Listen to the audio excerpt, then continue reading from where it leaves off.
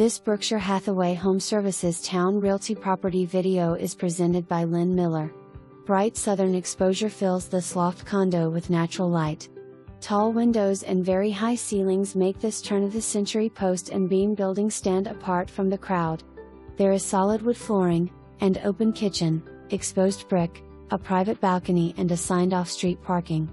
Being uniquely positioned between historic Freemason neighborhood makes this condo an easy walk to everything downtown living has to offer.